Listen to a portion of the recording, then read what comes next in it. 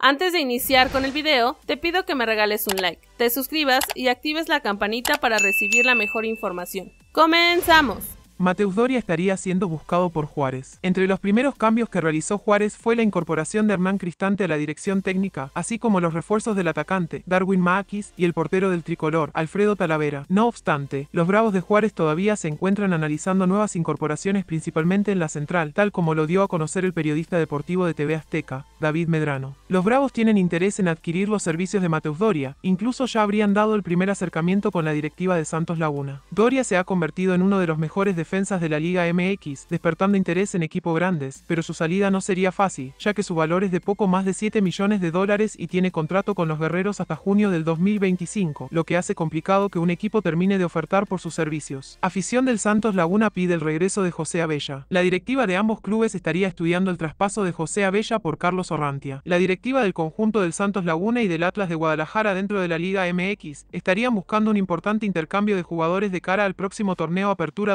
2022 en busca de reforzar la defensa de ambos planteles. De acuerdo a información del periodista deportivo José Juan Vázquez de la comarca lagunera, se está estudiando el intercambio de jugadores entre ambas instituciones como fue el caso de Julio César Ferch por Ignacio Geraldino. La afición de los laguneros pide el regreso de José Abella que debutó en este equipo como profesional en el 2012, siendo cedido al Atlas en el 2019 y donde logró el reciente bicampeonato de la Liga MX bajo el director técnico argentino Diego Copca. Por su parte, Carlos Orranti estaría dejando al Santos Laguna después de varias campañas defendiendo la playera, para llegar a un equipo bien armado como lo es el Atlas de Guadalajara, que buscará el tricampeonato en el torneo Apertura 2022.